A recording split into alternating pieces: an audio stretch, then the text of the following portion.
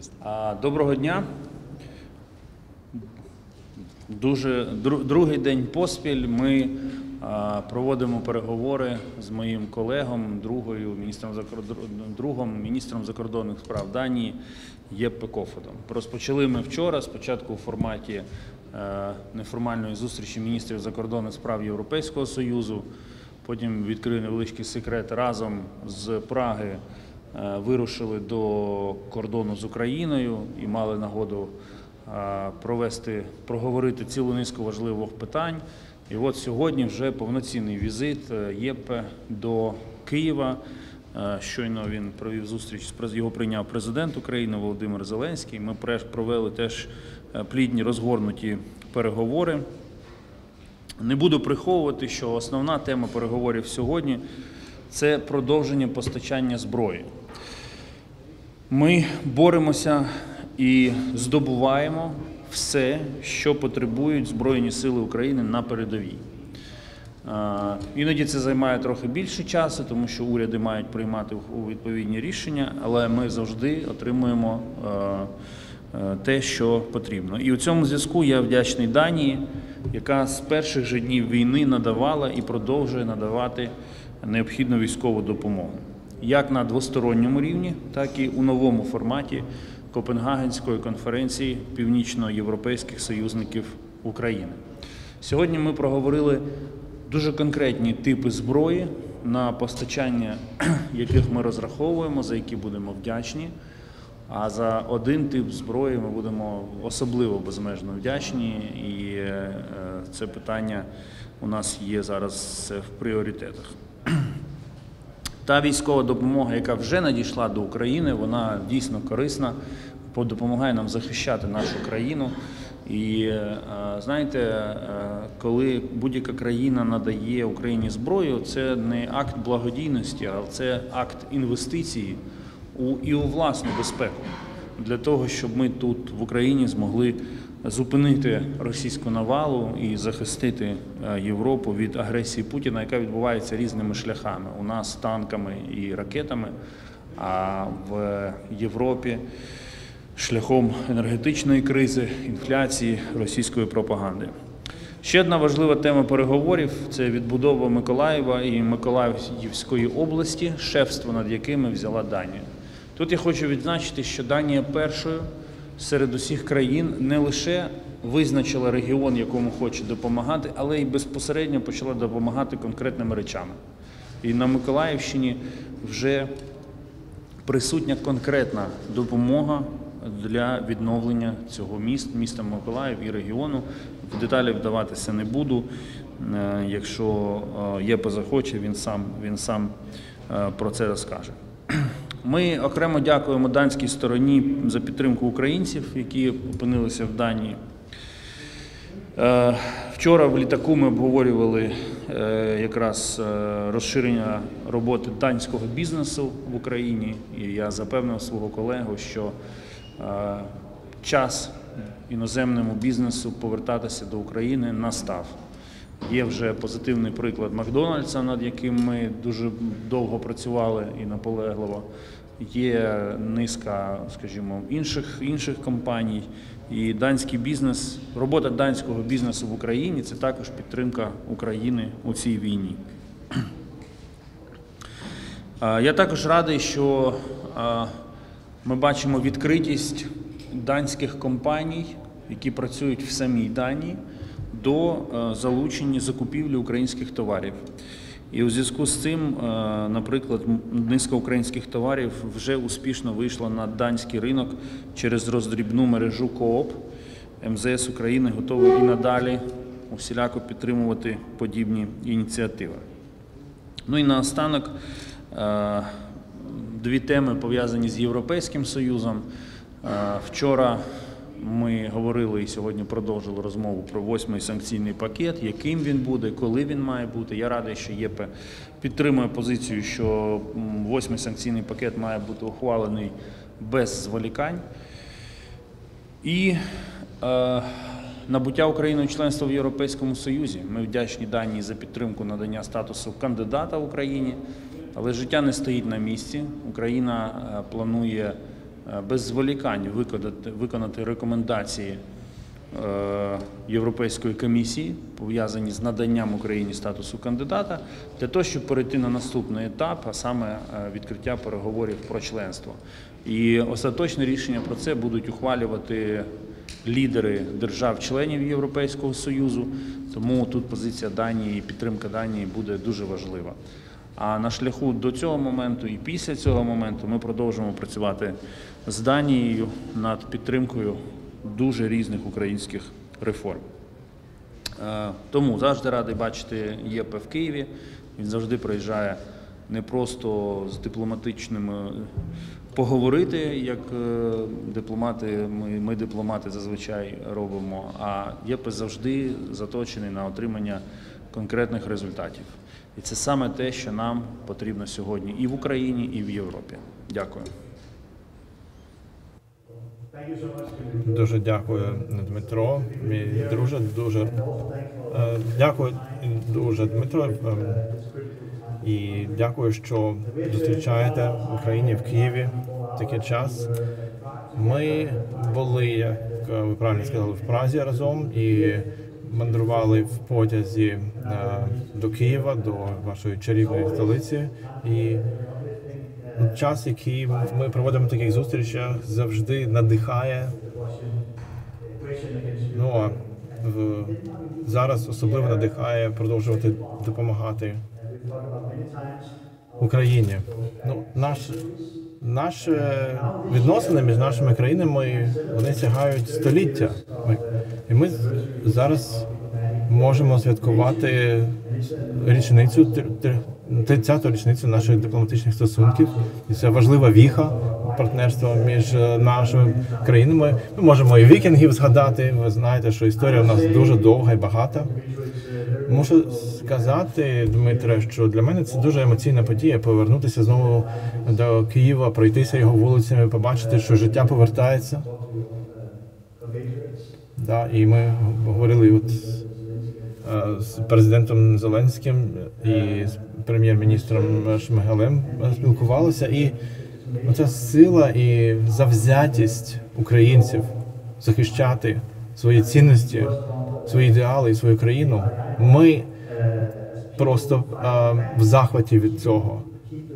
Наскільки люди здатні щодня, щоночі боротися і відбивати ці, цю жахливу антилюдську поведінку Росії. Ми з вами були до війни і під час війни, і будемо з вами після війни, як з, з вільною, демократичною, суверенною країною. Українці, як і будь-яка нація в світі, має право жити в світі і а, благополуччі. Тому Україна зараз вже отримала приблизно 400 мільйонів євро, плюс 90 мільйонів євро гуманітарної та фінансової допомоги. І ми адвокуємо, щоб Європейський Союз запровадив якомога більш жорсткі санкції проти Росії і продовжуємо цю роботу. Ми бачимо, як ви захищаєте свою країну, і бачимо, що плани Росії ви зламали. Наступна фаза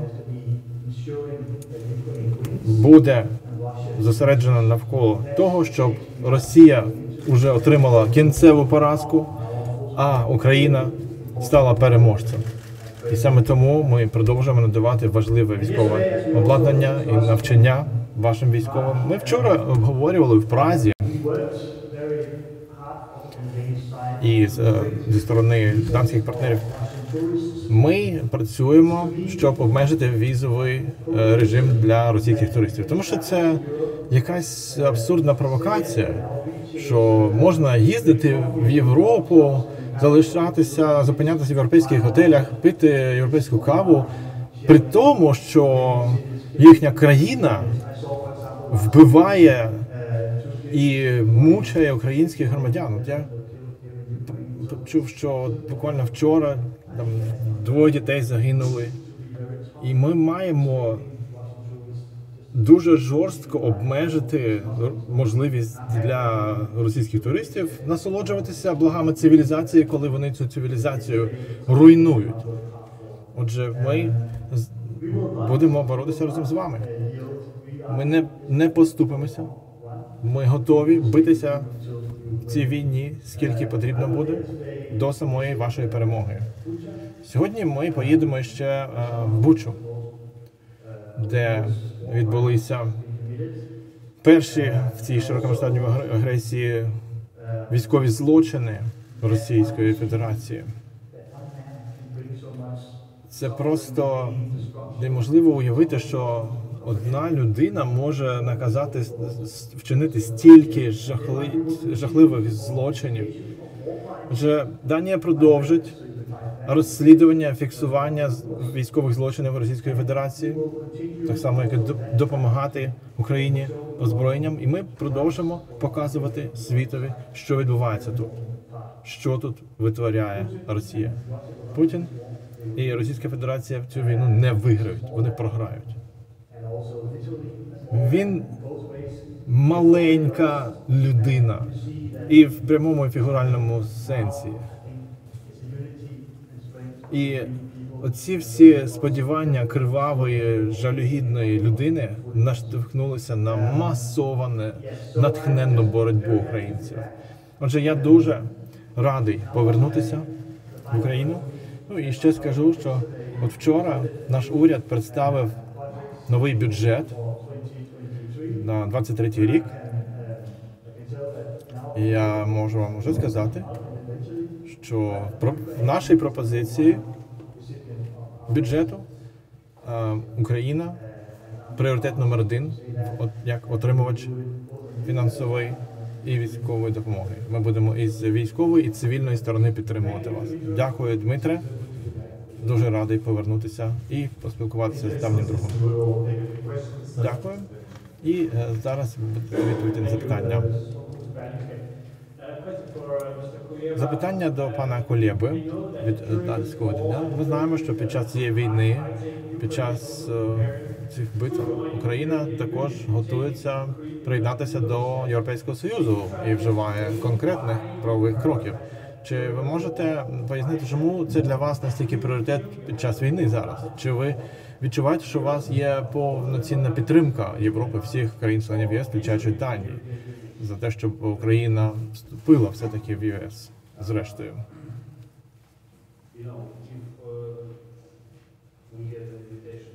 Ну, якщо ми отримаємо запрошення до НАТО, доєднатися ми теж е, будемо раді доєднатися до НАТО в найближчій перспективі.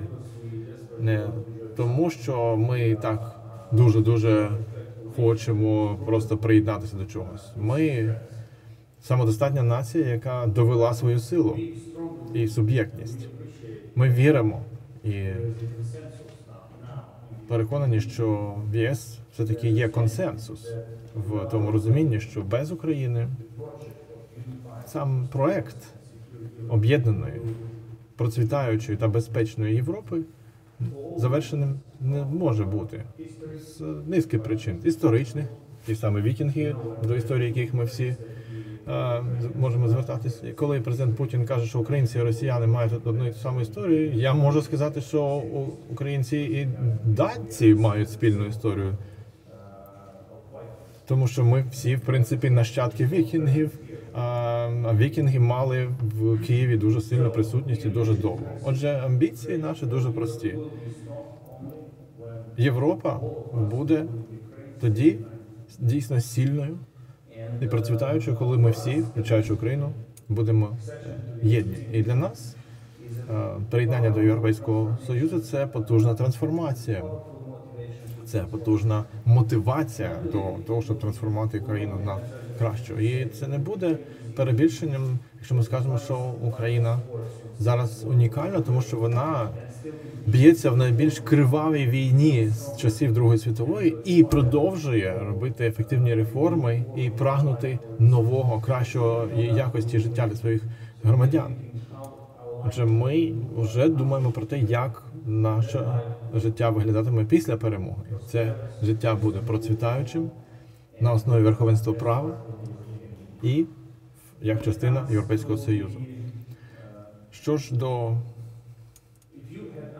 Ну, от якби ви мене запитали, чи всі е, члени ЄС підтримують Україну, я скажу так. Якби ви мене запитали, чи всі країни-члени ЄС повноцінно або повносердечно підтримують е, Україну, то я задоволений хоча б тим фактом, що є консенсус серед них, що Україна буде зрештою членом ЄС. Це вчора було підтверджено. Але нам все ще треба попрацювати з деякими країнами, щоб вони більш щиро е, були за членство е, України в ЄС. Але Данія повністю, як кажуть, повноцінною, повним серцем бажає бачити Україну в е, ЄС і підтримувала це наше прагнення, коли е, ще консенсус в самому єС не був таким, як він є зараз. Саме тому Данія є одним із найбільших ем, рекламістів України, можна сказати. Українські медіа. Дякую. Е, До пана Колеби, як ви оцінюєте вчора- вчорашнє рішення глав МЗС країн ЄС е, щодо віз для росіян? Е, Чи задоволені ви ним? І запитання до пана міністра Кофеда від Укрінформу. Україна очікує, що ЄС восени розпочне обговорення восьмого пакету санкцій проти Росії. Яке бачення Данії щодо посилення тиску на Росію? І які обмеження ваша країна готова підтримати у наступному санкційному пакеті? Рішення щодо віз для росіян потрібно розглядати в динаміці.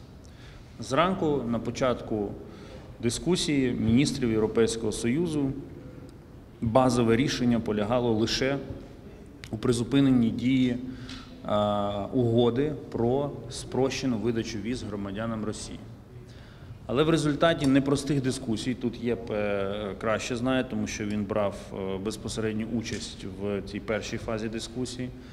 Потім, в результаті обміну думками між міністрами закордонних справ е, ЄС і мною, як міністром закордонних справ України, е, була створена невеличка, як кажуть у нас, робоча група, яка суттєво доопрацювала це рішення. І зрештою, вчора було досягнуто неформальної е, було досягнуто політичну домовленість про, про зміни у візовій політиці ЄС щодо Росії. Тобто, це не лише йдеться не лише про зупинення дії угоди. Там передбачена низка інших кроків, які е, дозволяють мені сказати, що у разі, якщо завтра вчорашнє рішення буде належним чином добросовісно імплементоване усіма державами-членами Європейського Союзу, то е, це рішення буде максимально наближеним до того, що хотіла Україна. Але диявол ховається в деталях, тому, в принципі, вчора було ухвалене правильне рішення, але е, деталі в імплементації можуть зруйнувати його ефективність. Саме тому я наголошую на важливості імплементації. І от позиція Данії якраз вчора, у вчорашній дискусії була дуже чіткою, принциповою, і, власне, ЄП зараз підтвердив. Е, Я переконаний, що е, найважливіший перелам, який відбувся вчора, полягає в тому, що аргумент про те, що це війна Путіна, а всі інші не винні, він залишився в минулому. Це дуже важливо, тому що тепер, не маючи цього бар'єру в сприйнятті російської агресії, ми зможемо ухвалювати набагато потужніші рішення. Дякую.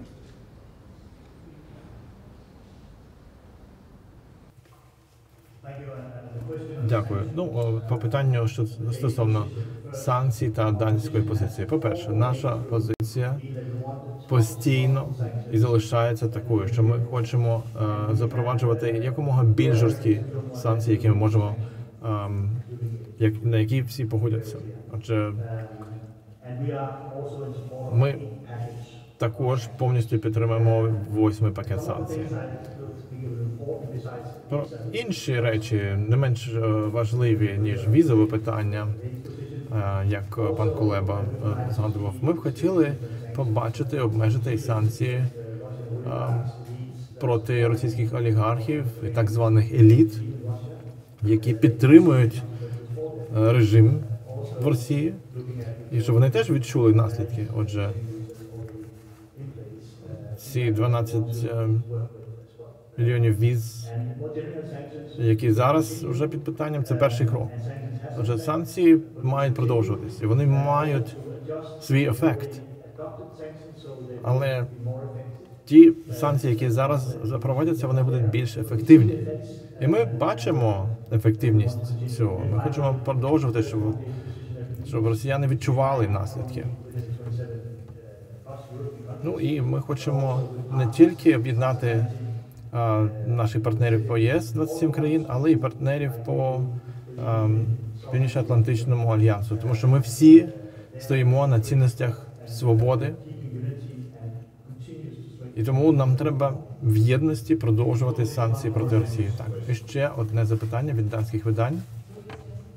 Луїс Єнсен для е, запитання під для міністерства Кулеби. Ваш уряд ем, чітко зауважує, які є потреби у України. Данські партнери вже надали фінансову військову допомогу. Які найбільші ваші потреби наразі? Тому що ми почули, що Данія продовжуватиме свою підтримку. Але якби, якби ви могли зараз обирати, що в першу чергу ви б хотіли отримати? Е, Тільки про зброю чи, чи про все широко? Ну, найкраща допомога Україні зараз це озброєння. Ми дуже цінуємо все, що надається Україні: макрофінансова допомога, гуманітарна допомога, допомога в розмінуванні, відбудові. Це все дуже дуже важливо. Але базове правило зараз е, тих часів, які зараз, якщо на фронті успіху не буде, то все інше не має сенсу. Якщо ми хочемо жити в країні, де яку можна буде відбудовувати, яку можна буде далі розвивати, в першу чергу її треба захистити і перемогти в цій війні. Отже, куди б я не поїхав, будь-яка розмова починається і закінчується постачанням зброї. А посередині є е, мікрофінансова, макрофінансова допомога, є гуманітарна допомога, відновлення, відбудова і так далі. Ну і по системах озброєння у нас теж є пріоритетні бажання. Три найбільші пріоритети в плані озброєння це артилерія будь-якого типу. Це боєкомплекти для артилерії, системи пові- протиповітряної оборони і системи залпового ракетного вогню. Ось це речі, які потрібні. Тобто, щодо артилерійських систем і системи залпового вогня, це просто ті системи, в яких по яких Росія зараз значно а, перевищує наші сили. Ми можемо боротися не тільки кількісно, але й якісно. Тому що одна гаубиця, сучасна гаубиця, вироблена країною членом НАТО, набагато більш ефективніша, ніж російські гаубиці, які відповідно були вироблені ще в радянському Союзі. Тому на кожній зустрічі я постійно наголошую на дуже великій потребі отримати більше артилерійських систем. Жодна і оборонна, і наступальна операція не може зараз без артилерії бути втілена. Ми дуже чітко і відкрито заявляємо про свої потреби. І це про це йшлося при зустрічах ЄП з прем'єр-міністром, з президентом. Ми дипломати, але ми зараз дипломати воюючої країни. Ми маємо дуже чітко і напряму заявляти, що нам треба, і не вагатися. Заявляти, що нам потрібно, тому що залежить майбутнє цієї країни від успіху нашої військової боротьби. І в цьому сенсі дуже добре, коли ем, є такі партнери, колега ГЄПа, який розуміє нас, який не задає якісь там запитання, щоб просто е, продовжити дискусію якомога довше. Ні, він дуже конкретна людина. Дякую. Я теж дуже коротко дам відповідь. Значить, надання потрібних систем озброєння України це пріоритет номер один. Як я вже сказав, українці хоробро, е, неймовірно сміливо бореться і відбиває російську агресію. І ми маємо всі подбати про те, щоб Україна виграла, а Росія програла. Щоб такі речі, які витворяє Росія в Україні, залишилися назавжди в минулому. Ми надали вже на 400 мільйонів євро допомоги, і ми продовжуємо надавати відповідні і необхідні озброєння та тренування для українців. Окрім того, у нас приблизно є на 90 мільйонів мільйонів євро гуманітарної та фінансової допомоги. Це робить е, Данію одною з е, країн, які найбільше виділяють Україні. І, безпосередньо допомога Миколаєву, Миколаївській області. Ми допомагаємо відновлювати там систему водопостачання, теплопостачання, відбудова і ремонт е, житлових муніципальних будівель. Буквально, от щоб в квартирах у людей були вікна захищені від холоду, тому що ми маємо знову ж таки подбати, щоб український народ могли пережити зиму і при цьому давати гідну відсіч Росії. Дякуємо.